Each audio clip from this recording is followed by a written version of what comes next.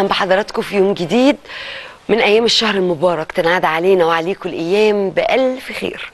حلقة جديدة من وإحنا لبعض. على مدار الأيام اللي فاتت طول شهر رمضان الكريم كانت رسالتنا واضحة وبسيطة. كانت رسالتنا بنحاول نقول لكم إن ربنا سبحانه وتعالى عوضه كبير قوي لما بيلاقي عبد عمل حاجة وأخلص النية وتقرب لله بيها. لما ربنا بيبقى في عونك دي حاجة كبيرة مش قليلة أبدا.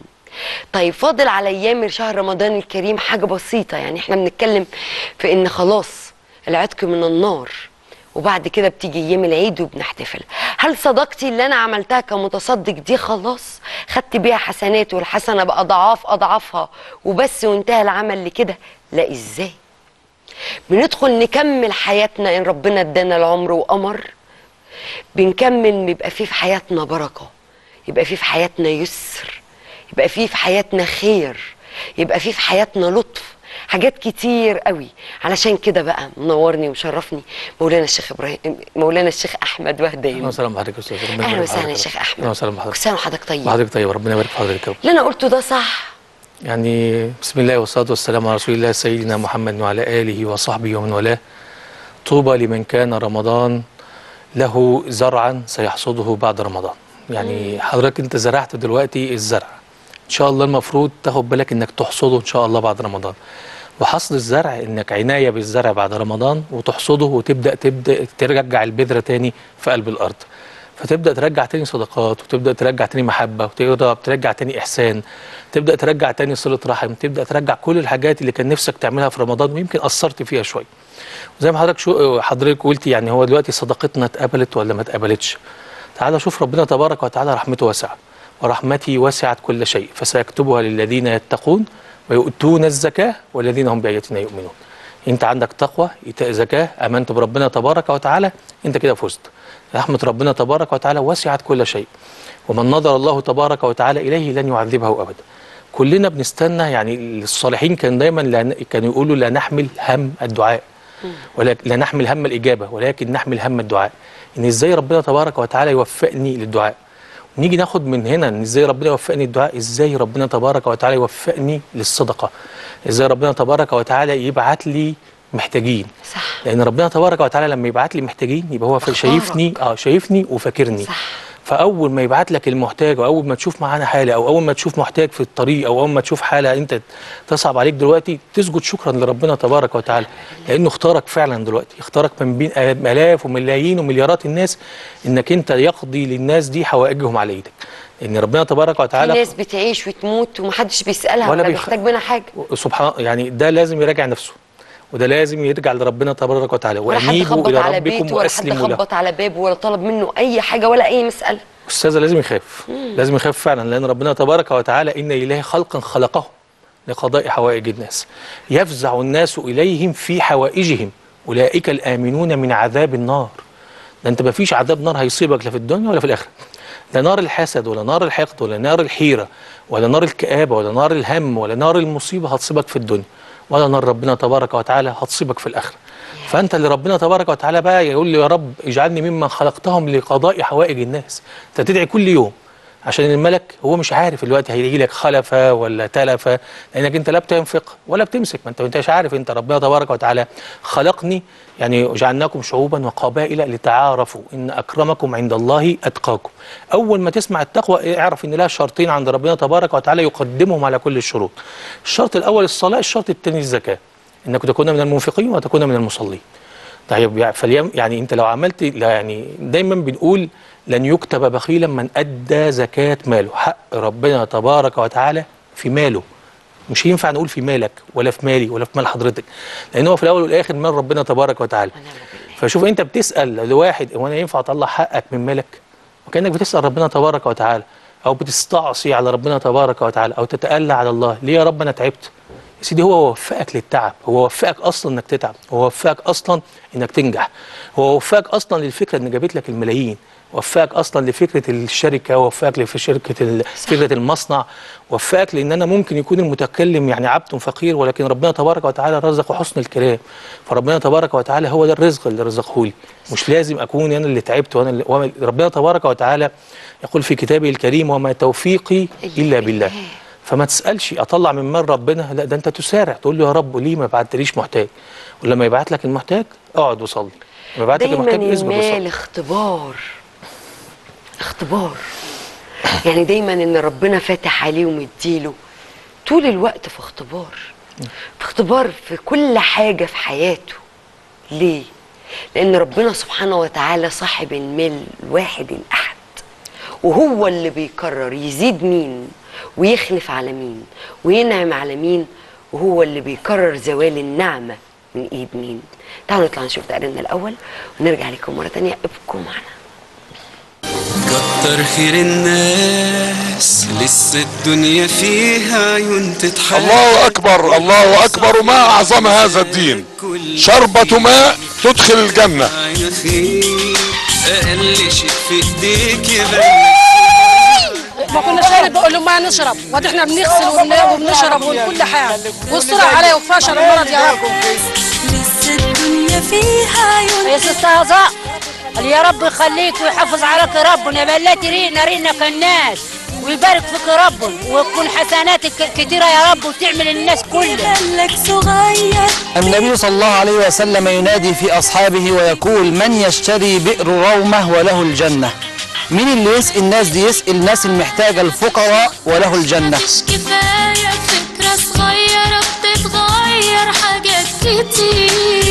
شجع غيرك يقوم سيدنا عثمان بن عفان رضي- الله عنه ويقول أنا يا رسول الله وبهذا يشتري الجنة. ما تعودناش في الخير نفاصل ولا بنساعد باللي فاضل. خليه وفاشر المرض يا رب. وجعلها ميدان حسنات للناس كلها الغلابه يا رب. وبنغسل وبن- وبن- ما كانش فوق مية ولا فيش حاجة. محتل اللي في إيدنا يومين ورايح شكرا يا ست هزار يا رب يخليك. ويجعلك ميدان حسنات للناس كلها. ويكفيك شر المرض ويكفيك شر المخب يجعلك ميدان حز... ميدانات حسنات للناس كلها يا رب. يخليك ويبارك فيك. وت... وت... وربنا يخليك وتعمل للناس كلها ما كناش لاقيين البقوا اللي ما نس... نشرب.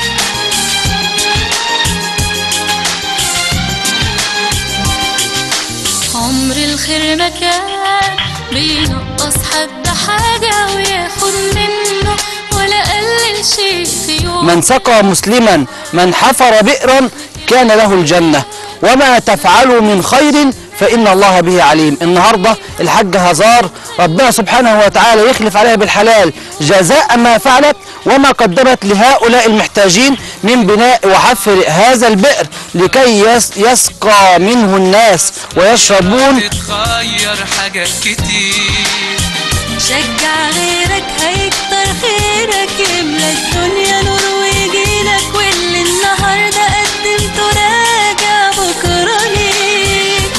قال النبي صلى الله عليه وسلم من سقى مسلما على ظمأ رواه الله من الرحيق المختوم.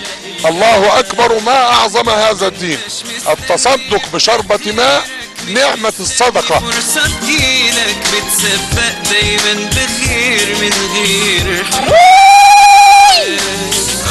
خير الناس لسه الدنيا فيها عيون تضحك لك وقلوب صافية وعايزة لك كل خير.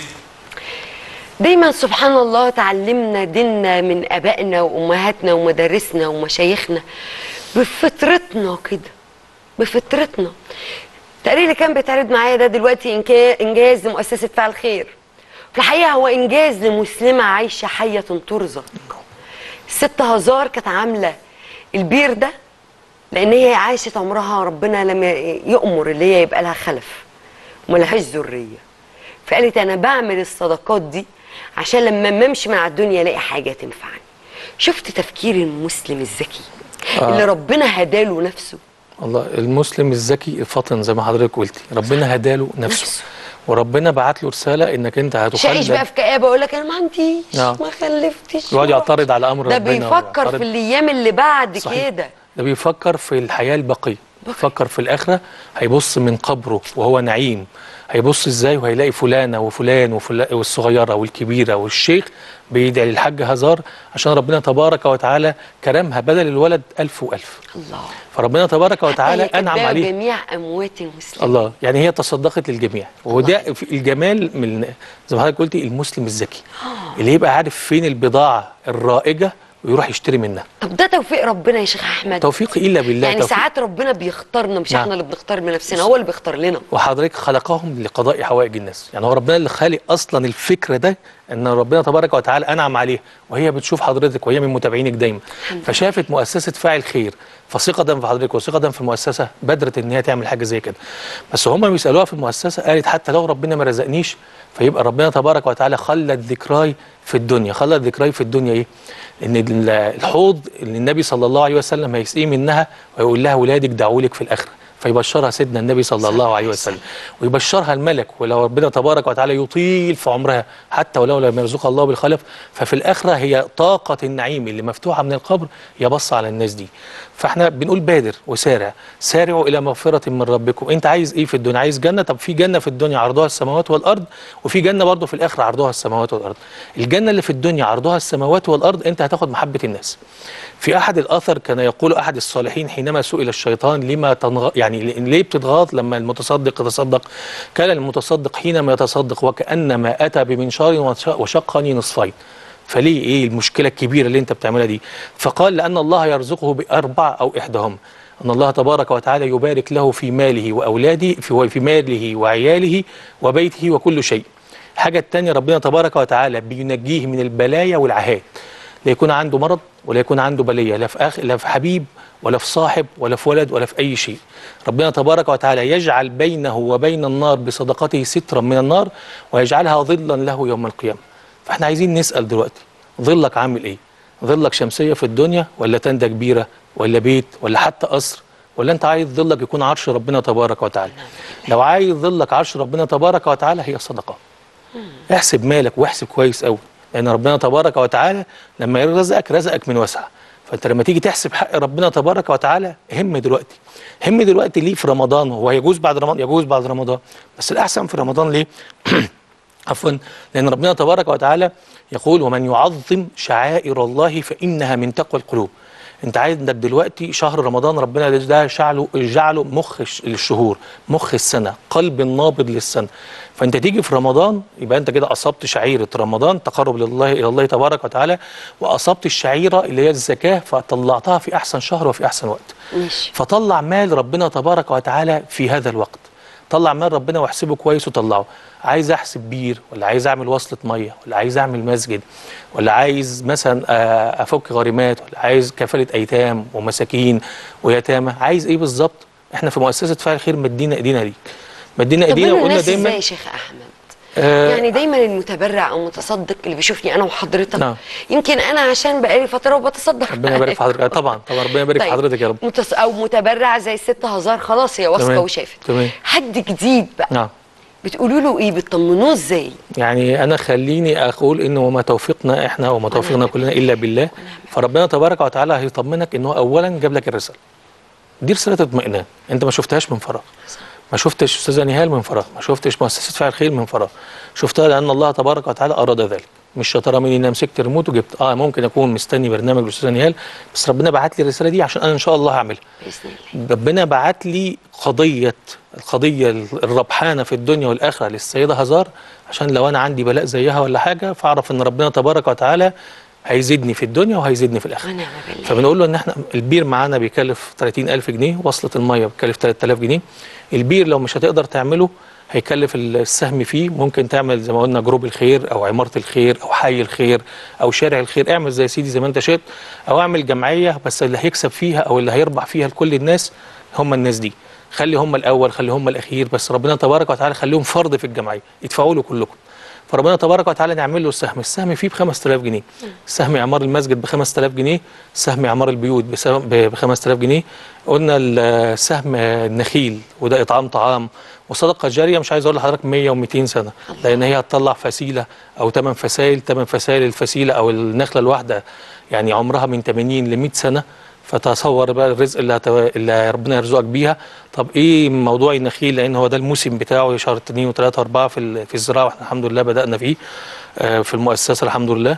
الفكرة هنا إن ربنا تبارك وتعالى إن حضرتك لما هتعمل دلوقتي سهم ب 5000 أو جبت خمس خمسة نخيل أو 10 أو اي أو أي من ذلك ربنا تبارك وتعالى هينعم عليك. اللي هيطلع الربح اللي هيطلع من بيع التمر ليك هيبقى باسم باسمك في المؤسسة سهم وصدقه جارية. هتعمل بيه أبار. هتعمل بيه اسقف منازل يعني ده اسمه خي... يعني صدقة متعدية النفع أو صدقة دائمة النفع. فهي برضه بتكلف معانا 5000 جنيه. ما شاء الله. يدعو الله تبارك وتعالى إن يكون الرسالة دي تصيب قلبك. ادعو الله تبارك وتعالى إن تصيب كل قلب كل مهموم وكل حيران. فتبقى النجاة وتبقى طوق النجاة اللي هنمسك فيه مع ربنا تبارك وتعالى. تعال. نرجع نشوف صداقتنا الجاية فين ونرجع لكم مرة تانية. ابقوا معنا. هؤلاء الناس يعيشون على ماء المطر. كل يوم ينشق فجره وكل منهم يسجد لله. أن يا سماء أمطري وجودي علينا بالماء. نحن ناقصين ناقصين مية وأسرة واجد أسرة واجد ومية شوي بلكي ما عندناش مية. جينا في مطار في, في السنة مرة جينا ما سنتين ما وأسرة ما لحد ما عندناش مية خالص. ومية مية عاوزين جزاكم الله خير. إحنا المشكلة الأساسية والمشكلة الأزلية بتاعت قاطن الصحراء هي مشكلة المياه ندرة المياه. طبعا اعتماد كبير اعتماد كبير بالنسبة لأهالي الصحراء على مية المطر. ومية المطر دي بيد ربنا سبحانه وتعالى. سنة تيجي وسنتين ثلاثة ما تجيش. الصحابه كانوا بيسألوا عن أفضل صدقة. وحضرتك لازم تدور على أفضل صدقة. أفضل صدقة هي سقيا الماء. لك أن تتخيل إن ربنا سبحانه وتعالى غفر لبغي سقط كلب.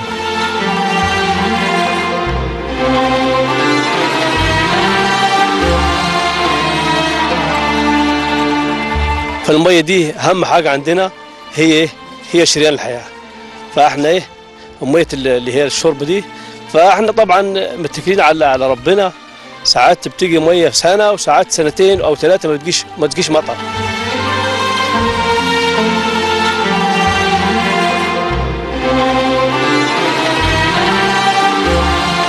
هؤلاء يحتاجون بير مية. هؤلاء يحتاجون حياة غير موجودة عندهم. الماء هو الحياة. الله قال وجعلنا من الماء كل شيء حي. صدقة برهان ودليل. دليل على إيمانك بربنا سبحانه وتعالى ودليل إنك أنت متصل بحبل الإنفاق مع ربنا سبحانه وتعالى. دليل إن أنا خزائني متصلة بخزائن الرحمن. ما تخافش ربنا تبارك وتعالى بيقول لك إن تقرضوا الله قرضا حسنا يضاعفه لكم. فهل من متصدق ليقبل الله تعالى صدقته؟ هل من رجل يمد يده إلى مؤسسة فاعل خير حتى يطمئن هؤلاء على يومهم وعلى غدهم.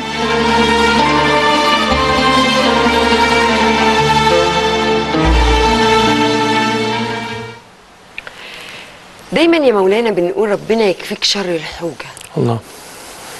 ودايما كمان يا شيخ أحمد لما والدتك تيجي كده تدعي لك نعم تقول لك ربنا يوقعك في إيد ولاد الحلال. ويبعدك عن ولاد الحرام صحيح. حاجات بتبقى كتير قوي لو الواحد متصدق بقى لو شاف إن الدعوتين اللي إحنا يعني بجوهره البني آدم على نعم. الأرض متحققين في حاجة لو تصدق استحالة يبقى مهان أو متذل لأن اليقين في الله وعبوديته الواحد الاحد الله بتخرجه من نعم. الخوف نعم. يعني هو كلام بالفطرة اللي إحنا اتربينا عليه والله أنتوا أهل العلم. ربنا يبارك في حضرتك. يمكن إحنا سبحان الله العظيم حضرتك. بنقعد قدامكم كلنا نسمع. ربنا يبارك في أما ده حضرتك. كلام الفطرة اللي أهالينا ربتنا عليه. ربنا يبارك في حضرتك. قول لي بقى حضرتك كده إزاي المعادلة الصعبة دي بتتعمل؟ يعني خلي حضرتك قلت كلام جميل جدا ربنا يكفيك شر ولاد الحلال ما يوقعكش في دقيقة. ودايما دعوة الأم. الحرام. ويكفيك شر ولاد الحرام. يوقعك في ولاد الحلال دايما. عفوا. هو وقعك في ولاد الحلال. فدايما دعوة الأم دي يعني هي دي أنا لما بسمع دعوة الأم لأن أنا ما قعدتش المجلس ده غير بدعوة أمي فالواحد بيتوتر شويتين. ربنا يبارك في حضرتك يا رب. ويبارك في والدة حضرتك يا رب. اللهم آمين يا رب العالمين. العالمين فاللهم آمين يا رب العالمين. فربنا تبارك وتعالى دعوة الأم دي أصلا صدقة. صدقة عليك وصدقة في الدنيا كلها. فربنا تبارك وتعالى يقول الذين ينفقون أموالهم بالليل والنهار سرا وعلانية فلهم أجرهم عند ربهم ولا خوف عليهم ولا هم يحزنون. لا في ولاد. حرام ولا في مصارع سوء ولا في ميتة سوء ولا في حد يضحك عليك ولا حد ينصب عليك. ربنا ابدا لا يذل كريم ولا يهين كريم. ده في واحد يا أخي يبقى خسران مال نعم. وتلاقيه قلبه بارد. يحس عنده أيوة، ثقة ربنا هيجي. ده عارف إنه كريم بيتعامل مع كريم. آه. فيمكن الكريم لما اختبرك ولقاك انت قلبك عمران بالكريم. أعطاك كرم. قلبك عمران بالرضا يرضيك دنيا وآخرة. يرضيك في كل أحبابك. لأنه نظر في قلبك لقى إيه؟ لقى رضا. واحد يبقى مش فاقد. مال بس. نعم. فاقد ولد من ولاده. الله. تحسه عنده صبر. وربنا تبارك وتعالى قال له يقين إن ده. حق ربنا فيه. قالوا إنا لله وإنا إليه راجعون. المال لله وراجع لله. يعني أنت هتخسر إيه؟ هما يومين الحاجة دي معانا يومين وهيروحوا لغيرنا. وقلنا لو نسينا ربنا هينسانا. وقلنا لو إحنا ما انفقناش في حياتنا ما حدش هينفق علينا علينا بعد ما ماتنا لأن هي دي زي ما حضرتك قلت المعادلة الجميلة اللي ربنا تبارك وتعالى بيعملنا في يعني يبينها لنا. يعني الصدقه السر تقي مصارع السوء. مصارع السوء لحد يغتابك ولا ينمك. لحد يفضحك وربنا يفضل سترك. لحد يحطك في كآبة ولا في حسد ولا في كره ولا أي حاجة. يعني توضع يوضع لك القبول في الأرض فتطوى لك الأرض طيب ربنا تبارك وتعالى كده يجعل يعني اللي يبص في وشك فرحان اللي يسمع كلامك فرحان. فربنا تبارك وتعالى بصدقتك أنت أنجيت الناس دي.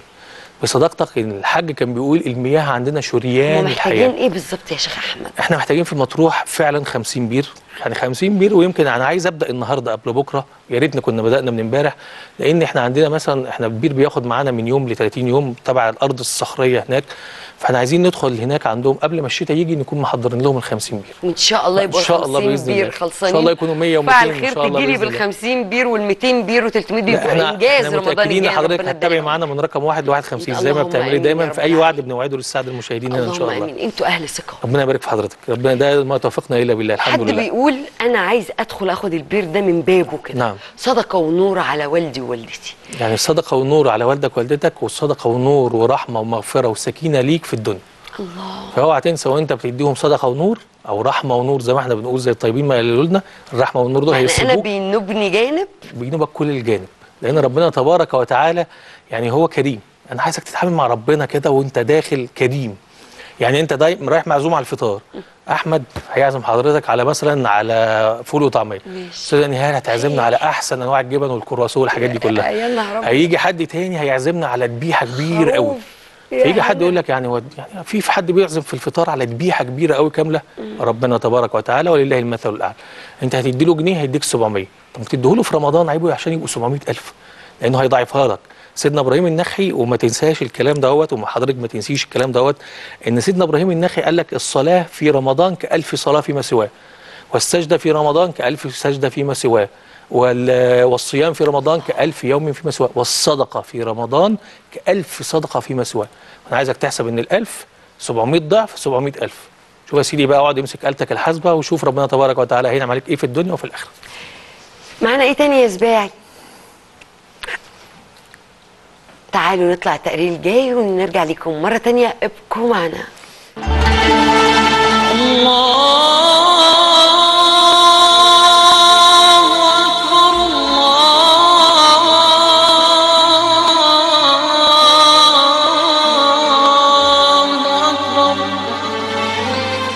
يقول الله سبحانه وتعالى إنما يعمر مساجد الله من آمن بالله واليوم الآخر.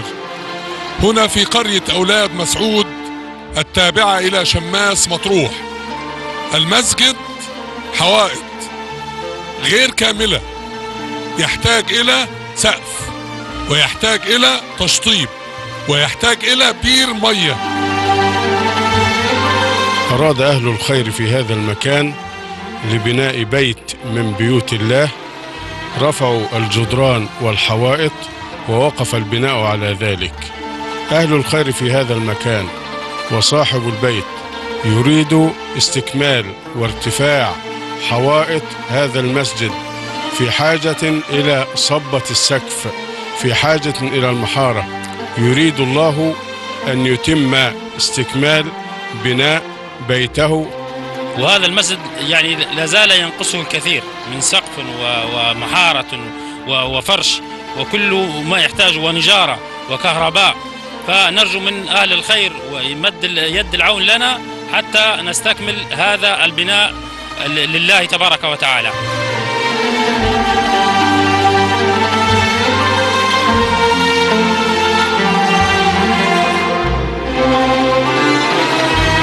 إحنا عاوزين من حضراتكم تساعدونا. إحنا بنبني المسجد ده عشان نحفظ فيه الأولاد آه، القرآن الكريم. وعاوزين نصلي فيه الصلوات الخمس. عاوزين محتاجين ثلاثة طن حديد ومحتاجين إسمنت المسجد وزلط ورمل. فاللي يستطيع أن يساعدنا بحاجة والدل على الخير كفاعله. ومن بنى لله مسجدا ولو كان حسن قطع بنى الله له بيتا في الجنة. وجزاكم الله خير اللهم صل وسلم وبارك على سيدنا محمد محتاج إلى من يساعدنا في هذا البيت. نحتاج أن نكمل هذا المسجد عشان نحفظ فيه القرآن الكريم وحلقات ونصلي فيه الصلوات الخمس. المسجد الثاني بعيد عنا. ما في الجمعة الصلوات الخمس يصلون في البيت. ينبغي أن يعلم كل مسلم أن هذا المكان بيت لله وما تقدمه تقدمه لله وصدقتك تقع في يد الله قبل أن تقع في يد الآخر. أشهد أن لا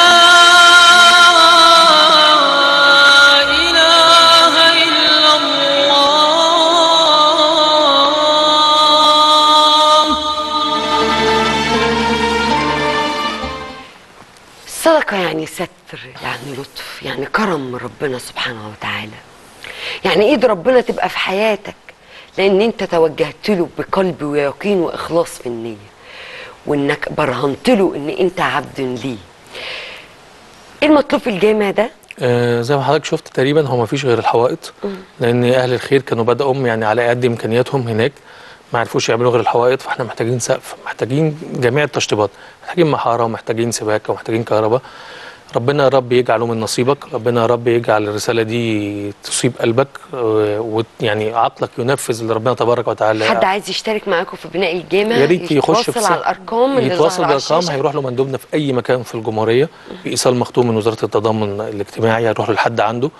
آه عايز يجي يفتتح معانا هيجي يفتتح. فإحنا بنقول له بعد توفيق ربنا لو عايز تشيل سهم المسجد هو سهم المسجد بيخلي في 5000 بس لو زكاتك كلها تجيب السقف شيله. لأن ربنا تبارك وتعالى هيشيل لك هموم كتير قصاده. ربنا تبارك وتعالى ربنا تبارك وتعالى أنعم عليك تشيل المحارة. شوف الأسمنت اللي إحنا محتاجينه. تواصل مع المؤسسة وهي تشرح لحضرتك. هتقول لك المكان هتديك لوكيشن بيه لو عايز تيجي تفتتح معانا عايز تفرح عايز تشيل المسجد كله وتكتب عليه صدقه جارية للوالد أو الوالدة ربنا يخليهم. أو لو ربنا افتكرهم بعد توفيق ربنا تبارك وتعالى دي نعمة من ربنا تبارك وتعالى. هيبقى ليهم طاقة ونور في قبورهم وفي يوم القيامة ويرفعوا درجات. وهيبقوا لحضرتك طاقة ون- آه، ونور في في الدنيا فربنا يا رب يوسع أرزاقكم. يا ريت نشيل المسجد يا ريت حد يحسب زكاته أو صدقاته كلها ويقول خلاص أنا شلت المسجد من بابه. وكأن ده هيكون يعني رصيده عند ربنا تبارك وتعالى الذي لا ينفد أبدا إن شاء الله. زي ما بنقعد كده على الموبايل ونشوف application ال mobile banking وأنت قاعد بتعد اصفار ربنا يزيدك. اللهم اللهم يزيدك ويزيد كل المسلمين واللي معهوش ربنا يزيده وربنا يعطيه ويخلف عليه.